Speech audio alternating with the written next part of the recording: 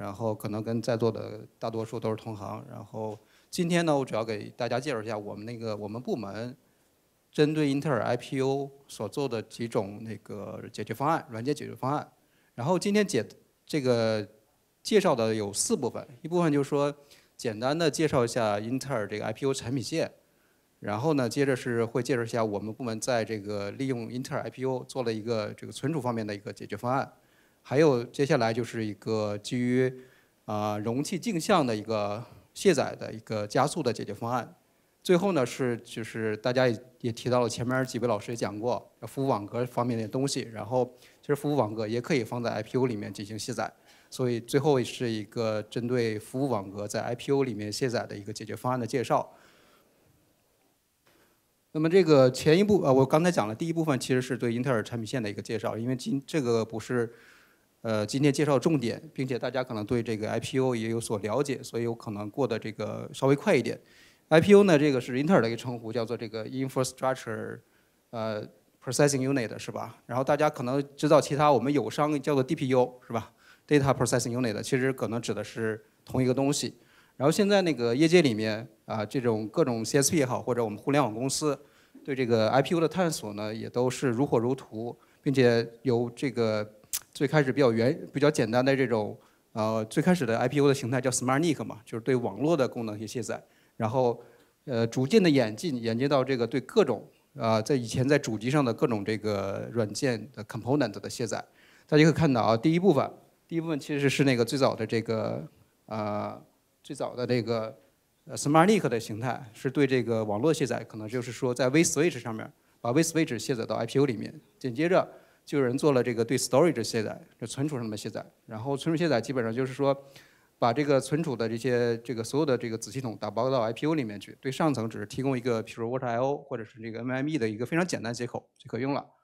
然后呢，接下来的，因为这个在网络和这个存储过程中呢，它的路径上难免会有一些这个压缩、解压缩啊，是吧？加密的一些功能，所以这这部分功能也会就被卸载到 IPU 里面。因为如果不卸载下来的话，会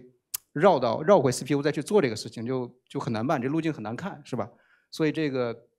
第三第三个部分，大家可以看到，就是已经把这个存储啊，就是不是把那个压缩、解压缩以及这个加密这这套东西卸载到 IPU 里面去。然后第四部分是把这个我们叫做 infrastructure，就是 cloud infrastructure，比如说呃以前的那个 IaaS 层，或者是那个 Kubernetes 这些有些部分功能，以及这个对 Hypervisor 的一些功能都放在这个 IPU 里面。那么其实用户所能看到的就是一个纯粹的 bare metal metal server，然后里面的这 CPU 只是这些 CPU memory 以及这些资源都是给这个用户跑它的 business 的这个逻辑的。真正的这个 CSP 或者互联网所控制的这部分这个控制控制层 control path 都在 IPU 里面，这是现在目前演演进的这个第四阶段。然后这个有一个这个 vision 嘛，讲一下英特尔的 vision，就是 IPU 可能是呃将来这个异构计算的一个核心，是吧？大家都知道异异构计算现在也也比较火热，然后那个呃从以前的以 CPU 为中心到现在 GPU 啊或者 SPU 各种加速卡，呃都。都这个计算这个计算量现在都很大，然后将来呢，如果是说从整个集群考虑，你的这些东西啊，主机上的资源要和这个 storage 和外部的这些其他的这个网络资源进行这个呃互通进行交互，那么其实 IPU 是整个这个链路的中心，所以 IPU 可能是将来计算的一个最核心的这么一个组件。然后这个是我们英特尔的这个产品线啊，从二零二一年，大家先看底下，先看下面这块儿。从二零二一年这个最初这个产品，这是基于这个 IPG FPGA 的这个产品，IP FPGA 加上那个这样的一个这这样地的一个 call 在里面，叫做 Big Spring Canyon。所以大家从命名看啊，这叫 Canyon 的这种大峡谷类型的都是基于 FPGA 的。然后这个这个叫叫 Mount 的，叫山的啊。山的都是那个 ASIC ASIC 形态的，然后二零二二年我们就那个就是出了两种形态啊，一个就是这个呃 Oak Spring 这种大峡谷形态的这个还是那个基于 FPGA 的，然后 ASIC 叫 Mount Evans，这是我们跟一个国国际的一个著名的厂商一起合作做的一个产品，大家可能就是有关注这方面的可能也都知道，然后这个是我们。这个将要发布的这两个产品啊，一个是那 Hot Spring Canyon 和这个 Mount Morgan 这个呃产品，呃现现有的这两个产品是总总体是二百 G 的一个带宽，然后二零呃即将发布的二零二三年、二零二四年这个产品是四百 G 带宽，然后接着这个我们产品线还会继续啊继续，这这两个这两个形态的产品线都会继续。然后上面的话，其实基于 IPU 呢，我们其实构建了一个比较完整的生态，要基于 IPDK 的生态啊。IPDK 是个，我接下来会简单的介绍一下。呃，其实 IPDK 是这套软件生态的核心，然后里面呢是其实有 P4 啊、SPDK 啊、DPDK，这个大家可能图标放的比较小，这个是 Intel Open FPGA Stack，就是相当于是这个用这个东西可以把你的这个逻辑啊，就直接烧到这个呃这个大峡谷系列的这 FPGA 里面去。啊，啊，大家如果有什么问题的话，可以随时随时打断我问啊。然后那个这个是一个具体的一个比较吧，就是我们那个刚刚才讲了，二零二一年发布的这两个产品，它的这个呃这个比较。然后那个这个这是二零二呃，sorry，这是二零二一年发布这个 Big Big Spring Canyon 嘛，它其实是最主要的是这个二乘二十五的一个带宽，就是两个 port 嘛。然后每个 port 是二十五 G 的一个带宽，然后这个 Oak Spring 就是即将发布的这这个产品是，呃两两个 port，然后每个 port 一百 G 带宽，整体上是二百 G 带宽。然后那个这个灵活程度呢，其实是这个 Oak Oak Spring 其实在灵活程度方面会有很大的提升，因为它支持了这个 Intel 的 OpenFS，就是前面讲到的这个 OpenFPGA Stack 这个东西，所以它是构建了自己的生态。然后那个。这个 Big Spring Canyon 这个其实是是需要有一部分这个定制开发的，然后其实在国内有有有很多家公司啊，包括那个云厂商，然后还有一些互联网公司也都采采用了这个以它为蓝本，采用了一些做了一些这个后续的这个开发。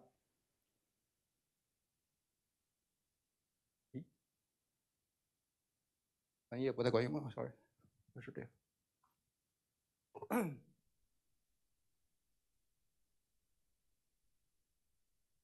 这是那个 ASIC 的那个形态的 Mount Evans 的一个架构，大家可以看到里面最主要的就是说里面有这个网络的卸载，啊，RDMA 和这个 LAN 都有，然后这个也有存储的卸载，NVMe 在也有，然后这个刚才讲的这个 Crypto 是吧？这种加解密的或者是这个压缩压缩的也都在里面。这个其实是跟那个某一个头部厂商嘛，国际头部厂商一起联合开发的，他们有需求，然后这去英特尔。找到英特尔，我们去跟他一起去合布呃合作做了这个这个东西，啊好了，然后 IPDK IPDK 这个大家我估计这个做 IPO 的可能都有所了解，我在这儿简单提一下吧，就是呃其实是一个是一个是是一个开源项目，然后也不仅仅有英特尔一家在里面，然后它基于 IPDK 呢，其实 IPDK 它的它的就是玩法或者它的 build 方法是基于这个 recipe 的。就说你要指定你的 target 跑在什么地方啊？target 可能是这个一个可以，它支持多种 target，不仅仅 IPU target，可以跑在 CPU 上面，你可别可以跑在这个 switch 上面。然后你指定你需要哪些功能，比如说你要 virtual network，virtual storage，然后指定你的 target，它就能 build 出一个可以跑在这个目标 target 上一个东西。啊，当然你也支持你在里面做一些二次的内嵌的开发。啊，是这样。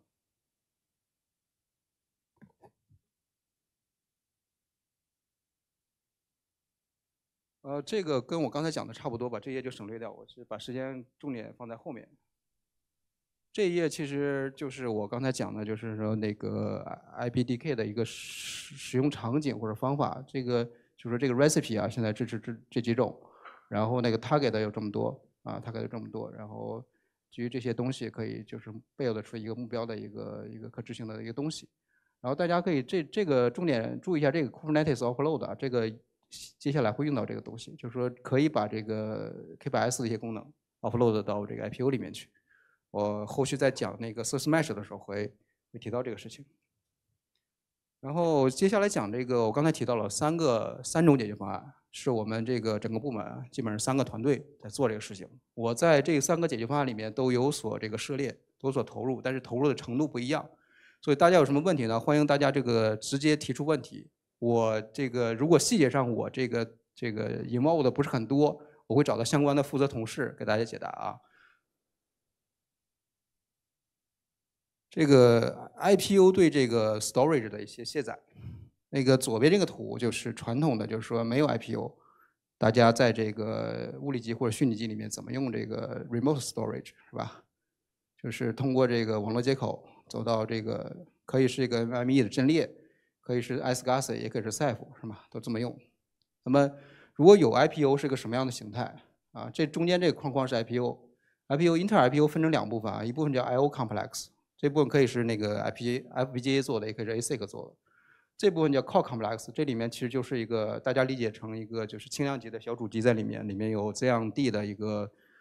一个 CPU，然后相应的 memory 在里面。然后这个 IPU 这个里面这个 Core com 呃 IO complex 呢，其实对对主机侧展现出的是一些就是通用的接口。这里面示意的是 What IO block 的接口，其实可以是 NVMe 的接口，也可以是别的接口。然后这个这些接口都是通过那个 SRLV 或者 SLV。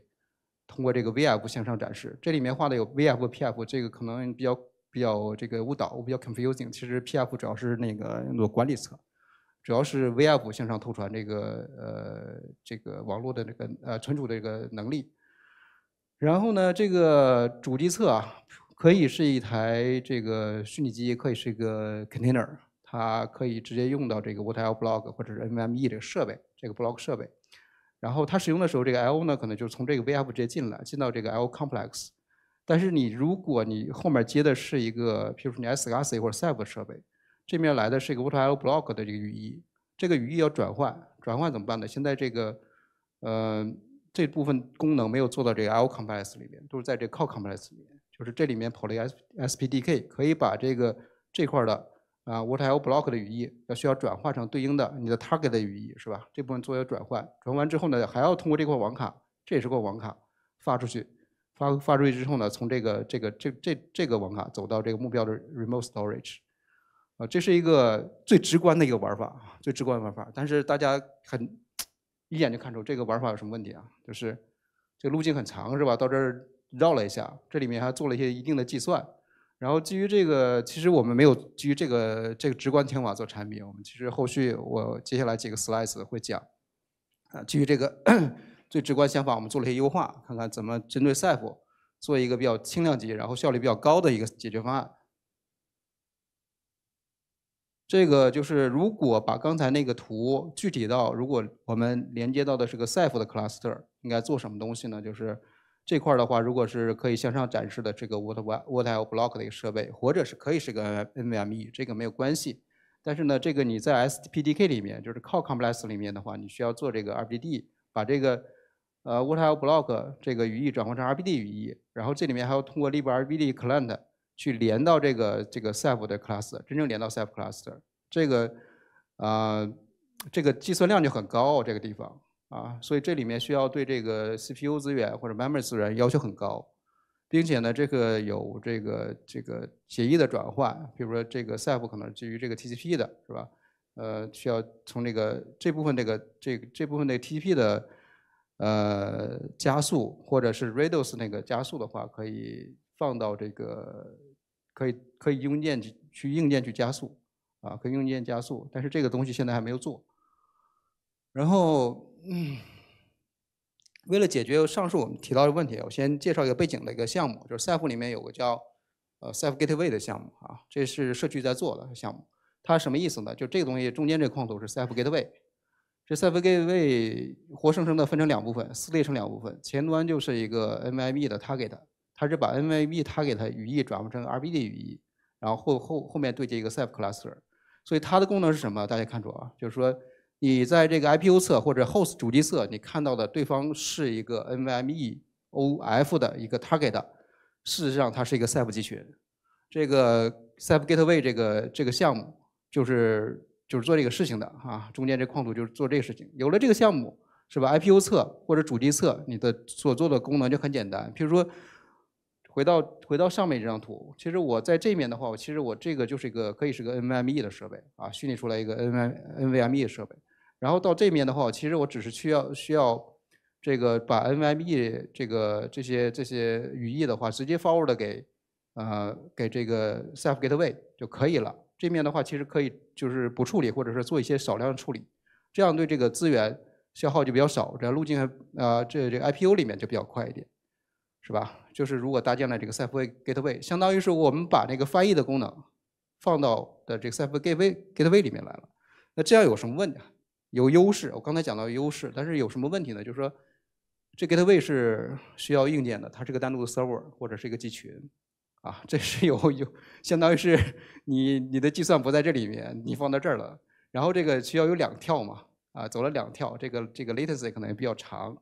然后但是这这个这个项目存在呢，对我们来说是有一定启发的，有一定启发的，所以我们接下来，呃，做了啊，这是那个。社区里面有人做了一个这个性能的一个比较啊，是这个人做的，这 IBM 的一个同事，他在社区里做的一个一个比较，就是大家可以看到红色的这个这个这个柱啊，是这个没有哦没有 IPU 不是没有 Gateway 啊，没有 Gateway 这个东西，没有 Gateway 正常使用，通过 libRBD Client，然后直接连 Ceph Server 的 self Cluster 的这么一个 Throughput，然后那个。呃，这个紫色这个条，这紫色这条是那个呃有 gateway 的，就是刚才那 gateway 的那个有两跳的这个 throughput。然后这个标志是 ARM，其实这什么？它是用个 ARM 设备来模拟了 IPO，啊，其实就是这个就是最开始的这个，相当于啊，我们理解相当于这个这个场景，这个场景它的它的 throughput。然后这个是那个紫色那图，紫色那装装呃柱状图所表示的。然后红色柱状图表示的是原生的啊，如果用那个 Ceph 纯原生的这个 throughput，大家看到肯定是原生最好是吧？原生最好，这 Gateway 这个也不错，但是比原生稍微差一点。但如果你把这个东西放到那个 IPU 里面实现，就这个东西，它标识 ARM，它是用 ARM base device，然后这个就差很多嘛，是吧？差很多，所以就是这种这个这个性能比较就说明了说不能这么做，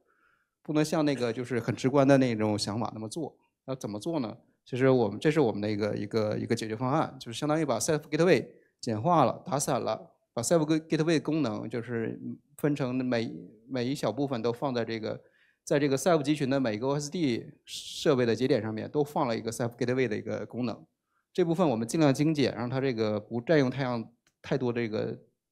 这个计算资源。所以怎么精简呢？就是大家可以看到，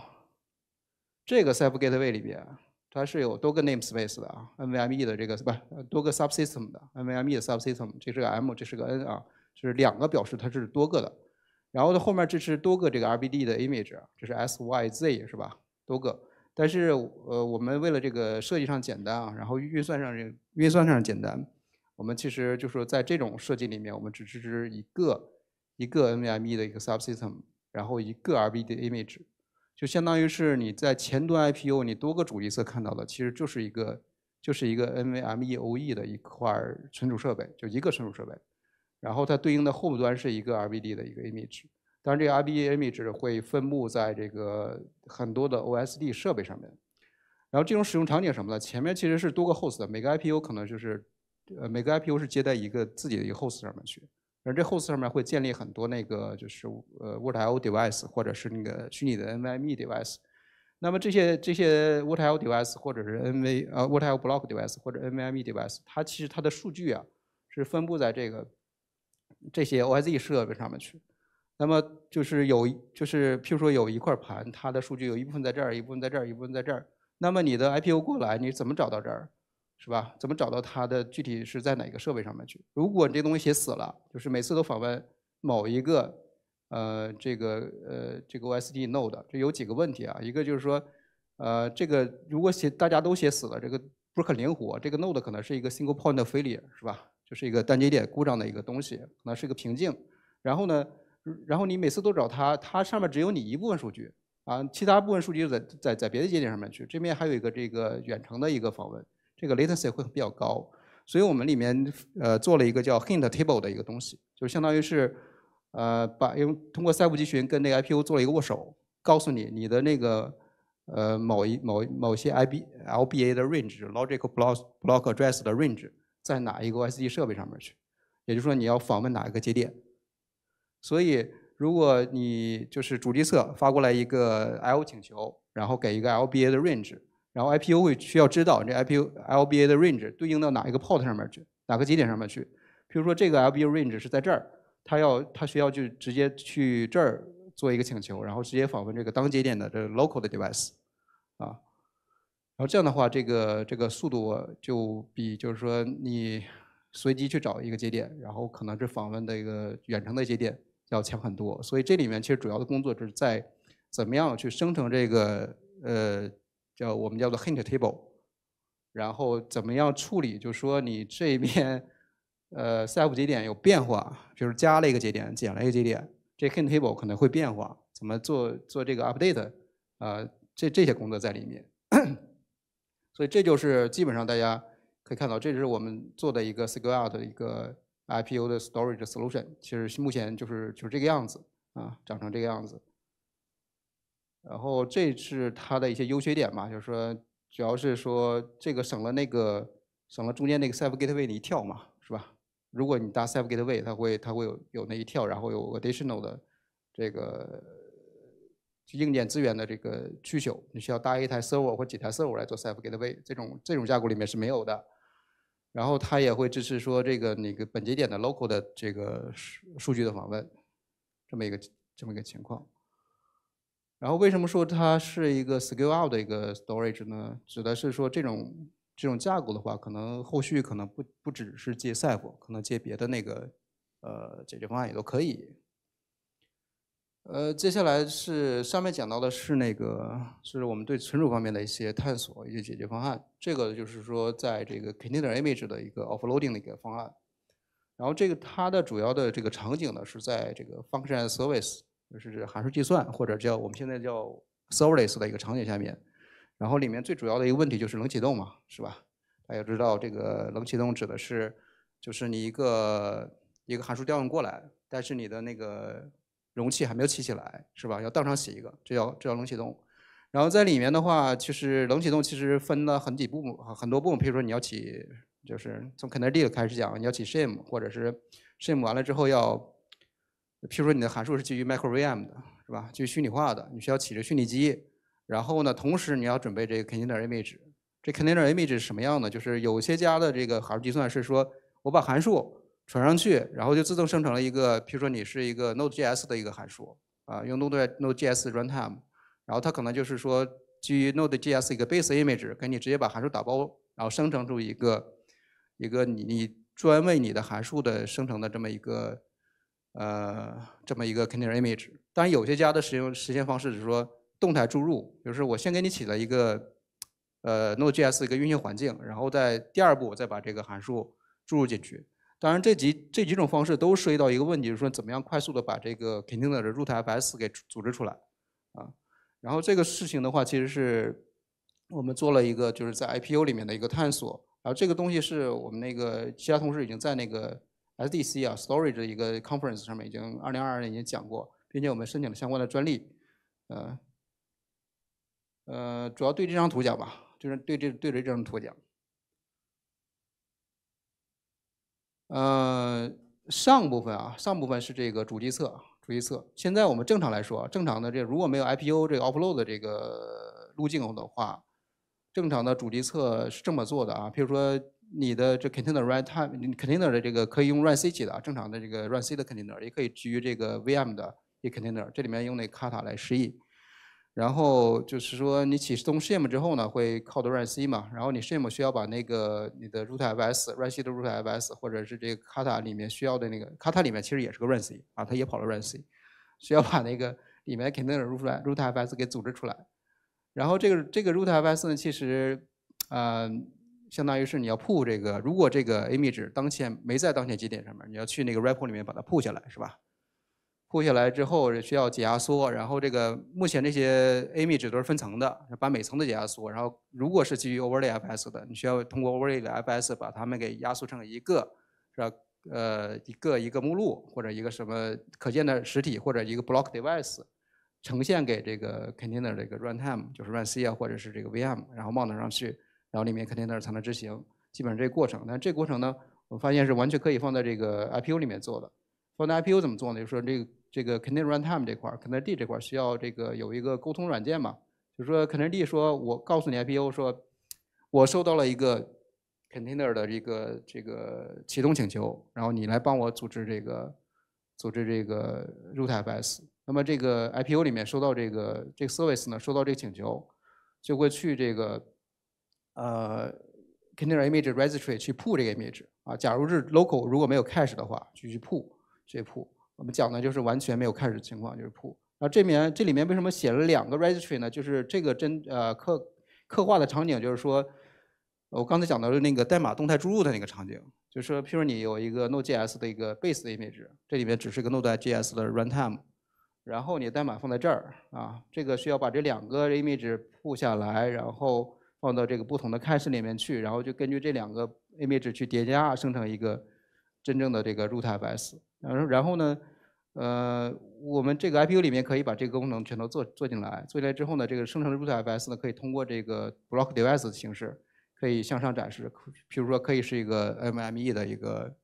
展示出是一个最主一侧看到的是个 NVMe 的一个 block 设备，或者是一个 WaterL block 设备都可以，都可以。所以你 Run C 里面可能就是我需要把一个设备然后展示出来，然后 mount 上来，然后告诉你你的 rootfs 路径在什么地方。你就直接上这个路径上去用就行了。然后这个针对虚拟化的情况下，可以就是告诉你，你的 rootfs 就是在这个设备上面，自己 mount 你自己 mount 上来，然后到里面去看就行了。然后这个就是相当于是这个呃呃，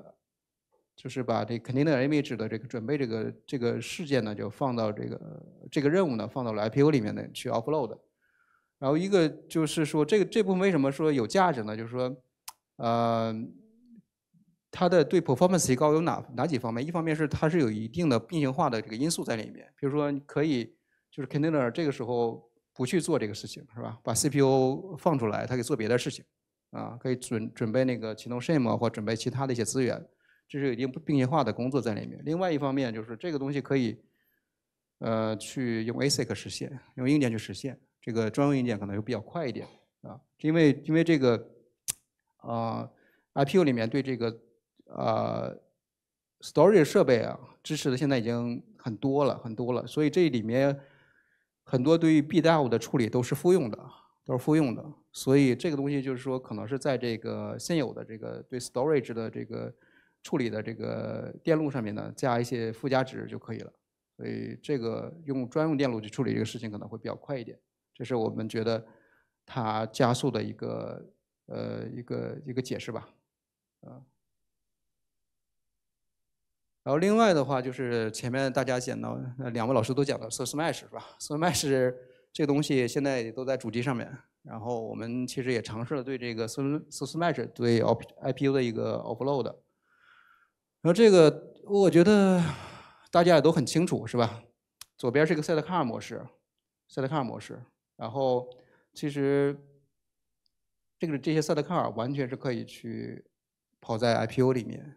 然后呢？我们 IPU 对每一个就在 CNI 里面做手脚，就是 CNI 你的你的 Pod 你的那 Container 你的 Business Container 的流量，通过 CNI 把这个呃把这个流量导到这个呃 IPU 里面的这个 Sidecar 里面去，然后这个其他的逻辑可能就不动，就是说这些寻址啊，然后这些这些操作可能不动，然后有一些这个硬件的加速在里面，就基本上想法就这样，想法就这样。然后从另外一个角度来看，就是这个意思，就是，呃，每个 IPO 对应一个不同的 host 的是吧？我们其实现在的这个使用场景就是一个 host 上面有一个 IPO，那么这个同 host 上这些，呃，这这些这些 application 怎么访问？其实这个可以用到这个 eBPF 的 bypass 嘛，TPIP 的 bypass 的可以无所谓，都可以，就是甚至不进 IPO 但是这个跨 host 的这个东西。啊，一般我们会通过 CNI 把它这个卸载到 IPO 里面去，然后通过 IPO 去，呃，就是路由到别的这个另外 host 上面的 APP 上面直接给过去。然后这里面的话，其实也就是说 IPU 因为它现在网络存储啊加解密功能都有了，都很完备，所以很多东西都是复用的，啊，用了硬件的复用了硬件的能力。然后这个是就是针对 K8s 怎么做这个事情啊？针对 K8s 怎么做？然后这是一个原理图，原理图。就最开始我们基于这个呃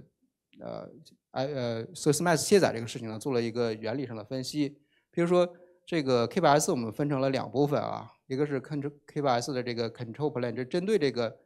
这是针对那个。用户的啊，tenant 的一个一个可见的一个逻辑上的一个 K8s 的 control plane，然后接下来的话，就针对这个 CSP 场景，或者是我们互联网公司啊，云运营商他自己 infrastructure 这块儿也有一个相应的 control plane。这个针对 IPO 的这个场景里面，它其实是就是对 IPO 资源的进行管理，对 IPO 资源进行管理。然后这个主这个 K8s 的这个 control plane 的话，是对主主机的资源进行管理。然后譬如说你的一个用户，你发了一个一个 YAML 文件是吧？然后然后 K8s 的这个 control plane 发现，哎，你需要给你一个 set car，给你一个 sysmesh set car，然后这个东西就这个它会给你生成一个 IPO 的一个呃 YAML 文件，然后输入到这个 infrastructure 这部分 K8s control plane。然后 K K8s control plane 呢，它需要跟这个呃 infrastructure 这个 K8s control plane 呢，需要跟这个 K8s control plane 它俩进行协调。协调目的为什么？什是什么呢？就是说把这个 IPO 的 envoy 和你的 host 的它俩对齐，是吧？它俩放在一个一台机器上面去，就这 IPO 插到这个 host 上面去。你不能说你你的 tenant 最后你的你的 pod 落在一台 host 上，你 IPO 在另外一台 host 上的这个 IPO 里面，这是不对的。所以这边其实也是起到一个调度的调度的作用，它俩就要协协同调度，然后把这个 pod 放在这 host 上面去，然后你的 sidecar 放在这个 pod 这个这 host host 上插的这块 IPO 卡里面去，这么一个逻辑是这样的。然后针于这前面讲的这个原理图，然后针对这个针对 Istio Vmod 的这个情况呢，其实我们是做了一些工作的啊，就是譬如这个在 Istio 里面。呃，引入了这个三个组件啊，可能就是没有没有有有些是那个就基于 Istio 的这个生态里面做的，然后有一些是那个就是做到 Istio 里面去了，然后这一部分 K P 四呃 P four Kubernetes 这个东西，就是我在前面啊让大家就是在讲 IPDK 的时候让，大家注意到是那有个 Kubernetes offload 那个东西，就是就是这个东西，它为什么叫 P4 那 Kubernetes？就相当于有些这个 config 是通过 P four 下发的。下发到 IPO 里面去，然后这个 invol 的这面的话，我们没有写成开 Sidecar 模式，也就是说，呃，这里面可以是 Sidecar，也可以是那个安本的那种，就是这个整整整个单节点，整整个整个节点有一个这个一个一个一个 Process 的一个模式，所以都可以都可以支持，嗯，然后这就是我们的这个呃一个。是前面的图的一个解释吧，就是我们用了哪些东西，然后需要改哪些组件。呃，基本上我要讲的这个三个项目就这么多，然后看看大家有没有什么问题，咱们现场可以交流一下。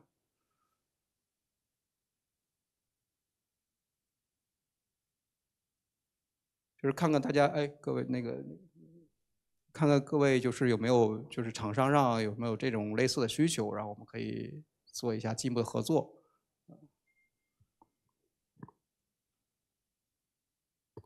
那个，我问一个不太专业的问题啊，就是刚刚我看您那个里面有 IPU 和 DPU 对吧？啊啊，它俩在这个就是嗯，就是部署这些服务的过程中有什么区别吗？呃，您大点声，我有点没听清这个。是 DPU 和 IPU 在就是部署您刚说的这些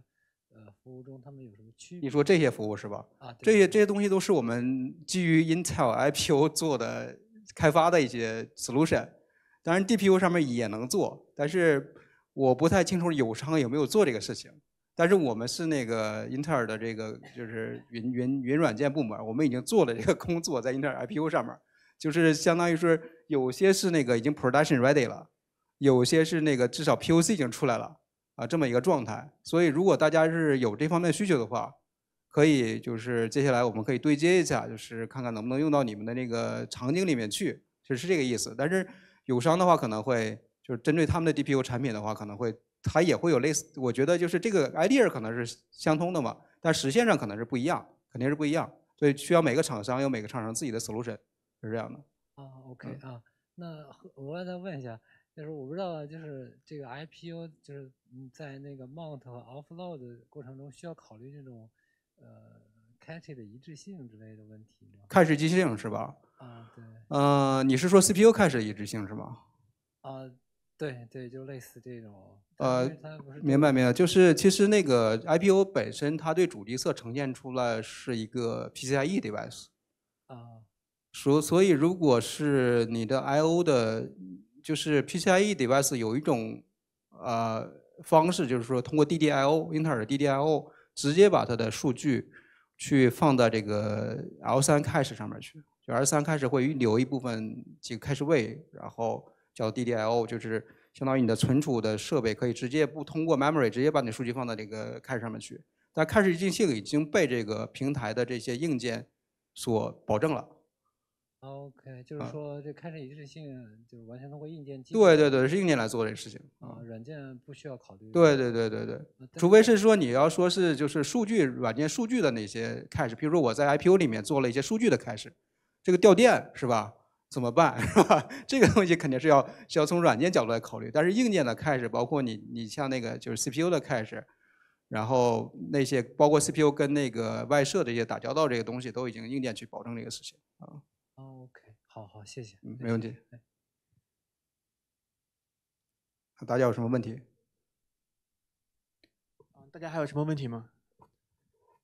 那那那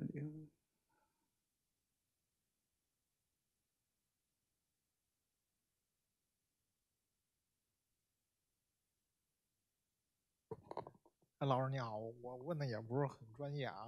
就是您详细解释两个，一个是刚才您说那个 FPGA 那块儿，嗯就是那块儿是解决什么问题？再一个，刚才您提到就是说以后可能呃有些问题就用 ASIC 嘛，ASIC 不就是板卡这些吗？那就是说可能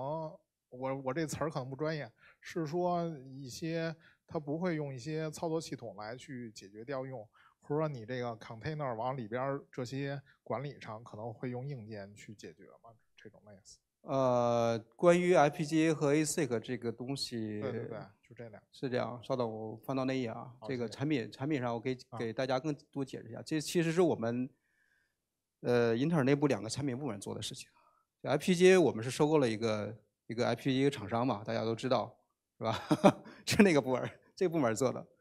呃，然后这个这是我们这个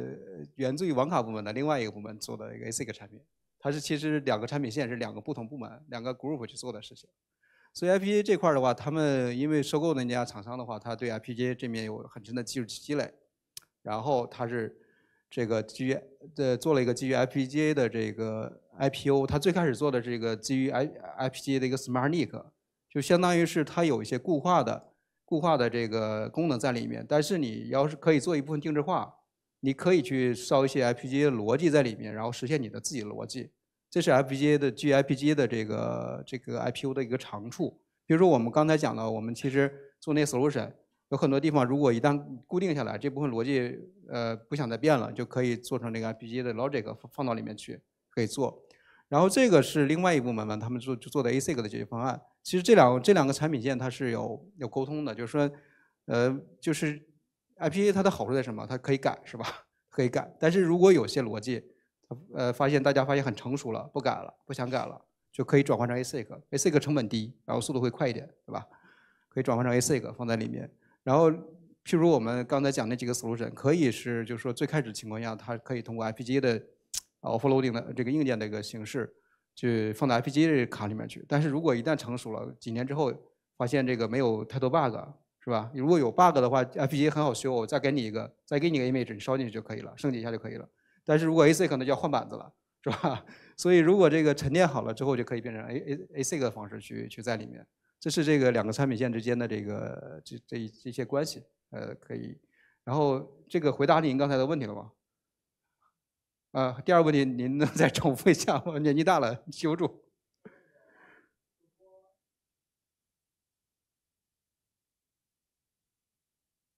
啊，啊，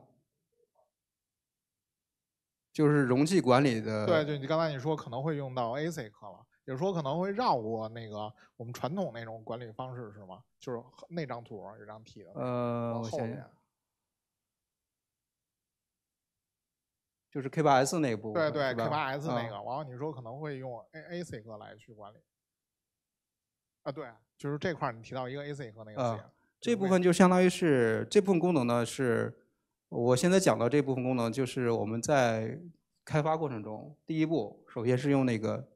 用 CPU 这里面的 CPU 做的，就是我我前面讲到这个 IPU 里面是两部分，一个是 I/O complex，一个是这个 Core complex，所以我们开发基本上分两步，研发过程中基本基本分两步，一部分就是说先把你的功能用 CPU 实现，就放在这个 Core 上面去做。然后一旦就是 POC 成功了，然后验证性能，性能上通过了，就去做这个比较严谨的测试。如果测试没有问题，或者是就可以把你这部分逻辑去做 FPGA 的或者 ASIC 的一个加速在里面，因为这个涉及到硬件的成本。啊，也就是说，也是，也就是说，用 FPGA 只是解决了一个加速问题。对对对，就是啊譬如你这里面管理上那个。对对对对对对，因为我我会认为是不是就是说哦，管理上可能不像是传统的应用方式，我我得上面有一个 OS，然后上面再加一些别的软件。这个就是主机侧其实没有变，主机侧其实还是 OS，你看都是那个 container 的 runtime 在里面，但是只不过是 container runtime 要配合 IPU 做做一点事情。因为它那嗯个像什么 Docker，它是嗯我我我不是这种容容器行业啊，我是一开发人员。它像那种 Docker，还有那个 K8s，它这种它它也算一个小的的操作系统。嗯，对。对对那它会跟这 FPGA 去结合吗？对对对，你看我这里面讲的就是说那个 Docker 其实现在 Docker 后面也用到 container D，是吧？Docker 后面对接也是 container D，就是 container D 相当于 container runtime，在这里面就需要我如果你要用 IPU 解决方案的话，你就需要有这个我们这个紫色的部分，就是这个 client 端，相当于这个 client 端要要要跟 IPAO 进行交互，这边 service 端。其实以前的那个就是 container image 的这个组织，然后 root FS 生成都是 container D 自己做的，它就不需要跟别人交互。但是你一旦把这个东西 offload 到 IPO 里面去，你就要需要跟 IPO 进行交互，所以这个 container D 需要改，加了这 client 跟 IPO 进行通信，告诉你说你需要给我准备一个什么东西，准备好了告诉我。啊，这个这个相应的这个 K8s 啊，或者是 container 这些 Docker 啊 runtime 可能对 IPO 需要做一些适配，但是整体的大部分的逻辑还都是在这个主机侧这个 K8s 里面完成的，只是说有一些这个硬件上有优势的东西，我们可以做，或者说是呃另外一个 IPO 一个实实践场景，就是说把这整个的 infrastructure 这些东西去放到 IPO，这样的话对呃隔离上或者安全上有好处。比如说现在有一些这个安全漏洞，说从容器逃逸出来，或者从 VM 里面逃逸出来，然后攻击主机侧的软件。但是如这样主机侧，如果你主机侧跑的是你的那个，就是你 infrastructure 的一些软件跑在主机侧，它很可能攻击到你的这个 K8s 上面去，攻击到你的这个 S 层面上面去。但如果你这些东西都跑在 IPU 里面，它天生硬件上隔离，这个攻击层面就就变得很小了，这么一个优势。呃，感谢张老呃张老师的这个精彩分享。好，谢谢大家。如果有什么问题的话，可以线下找我来来了解一下。